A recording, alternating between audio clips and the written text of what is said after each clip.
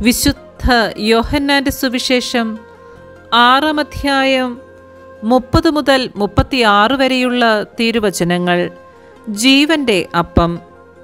അപ്പോൾ അവർ ചോദിച്ചു ഞങ്ങൾ കണ്ട് നിന്നെ വിശ്വസിക്കേണ്ടതിന് എന്തടയാളമാണ് നീ ചെയ്യുക? എന്താണ് നീ പ്രവർത്തിക്കുക?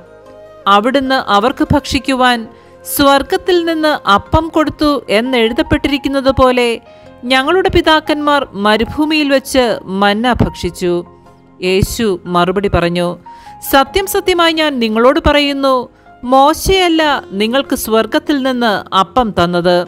എന്റെ പിതാവാണ് സ്വർഗത്തിൽ നിന്ന് നിങ്ങൾക്ക് യഥാർത്ഥമായ അപ്പം തരുന്നത്.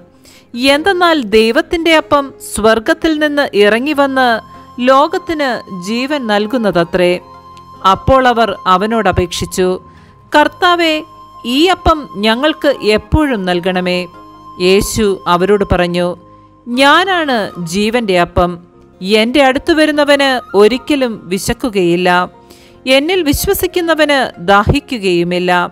എന്നാൽ നിങ്ങൾ എന്നെ കണ്ടിട്ടും വിശ്വസിക്കുന്നില്ല എന്ന് ഞാൻ നിങ്ങളോട് പറഞ്ഞിട്ടുണ്ടല്ലോ. നമ്മുടെ കർത്താവായ മിശിഹായ്ക്ക് സ്തുതി.